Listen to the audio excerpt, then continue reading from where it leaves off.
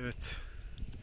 Karadeniz bölgesinin en büyük ve en kadim ormanlarının bulduğu Kınalık bölgesindeyiz.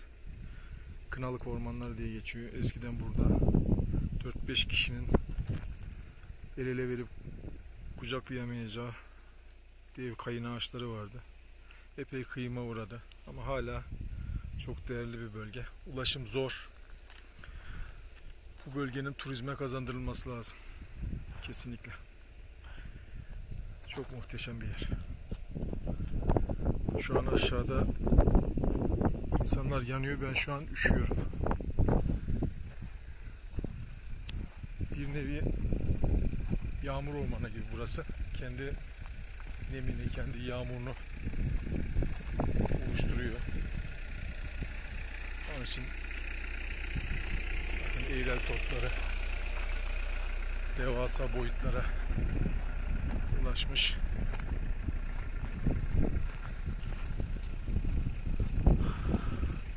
Kestane, kayın, kara ağaç, kızıl ağaç,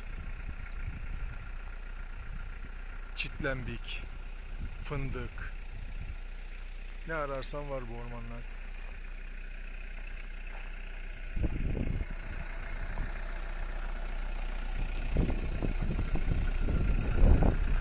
Ama ulaşım çok zor. Evet. Kınalık ormanları.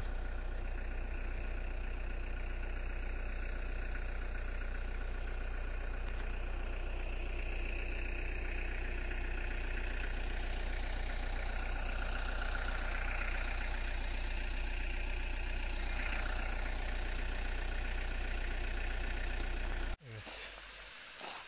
Buz gibi suyunda yüzebileceğiniz, içebileceğiniz, içinde kırmızı benekli alabalık geziyor şu anda.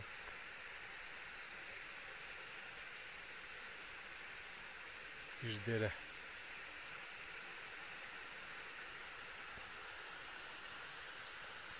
Bunlar Samsun'da var.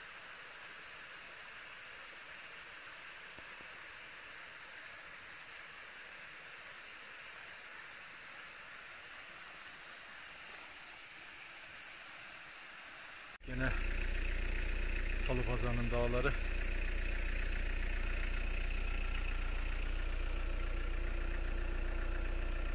Muhteşem güzellikler bitmiyor. Karşıda Garpu Kale. Şurası Garpu Kale. Oranın da manzarası çok güzel.